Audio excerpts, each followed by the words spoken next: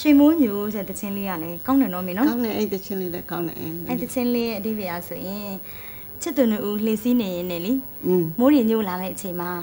ချစ်သူရဲ့မျက်နှာကိုအာကိုတကြီးနဲ့ကြည့်ပြီးတော့ကြည်နူးရတဲ့အကြောင်းလေးကိုရေးထားတာနော်မင်းနော်ဟုတ်တယ်ဟုတ်တယ်အရင်ကြိုက်တာပဲအဲ့ချိန်လေးလေမေနဲ့တမီနဲ့တူတူဆိုမယ်လေအင်းဆိုပြန်ဆိုပြန်အမေများမောနေမလားမသိဘူးမမောပါဘူးအမေကတခြင်းဆိုရမယ်ဆိုရင်ပြောတိန်တောင်တွေရေယူတွေ ကြီးစင်မေချစ်တဲ့သူပြောခဲ့တဲ့တို့ဖိတ်ွယ်မိုးတဲ့တမေ